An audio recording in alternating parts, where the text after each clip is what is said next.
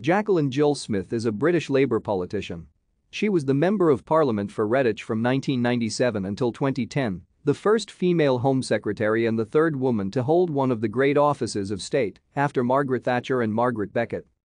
She resigned as Home Secretary on 5 June 2009 following her involvement in the United Kingdom parliamentary expenses scandal in which she had falsely claimed that a room in her sister's house was her main home. Smith, the most high-profile figure involved in the scandal, then lost her seat as Member of Parliament for Redditch in the 2010 general election. After leaving the House of Commons, she remained in public life as a political pundit and took up roles in various other sectors, such as health and media. Jacqui Smith was born in Malvern, Worcestershire. She attended Dyson Perrins High School in Malvern.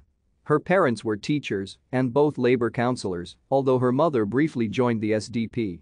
Her local MP, Conservative backbencher Michael Spicer recalled in Parliament in 2003 how he had first met her when he addressed the sixth form at the Chase School, where her mother was a teacher. He joked, so great was my eloquence that she immediately rushed off and joined the Labour Party. Smith read PPE at Hertford College, Oxford, and gained a PGCE from Worcester College of Higher Education.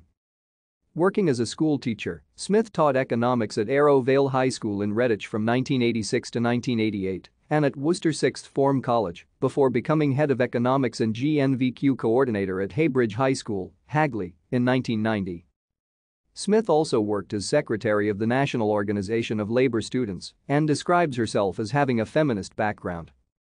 Having failed to be elected as a Labour MP for the safe Conservative seat of Mid Worcestershire in 1992, despite achieving a 4.9% swing, Smith was selected through an all-women shortlist in the 1997 general election as the Labour candidate for Redditch. She won the seat as part of a record number of female MPs elected to the House of Commons who were dubbed Blair Babes. Thank you for watching. Like and subscribe if you would like to view more of our videos. Have a nice day.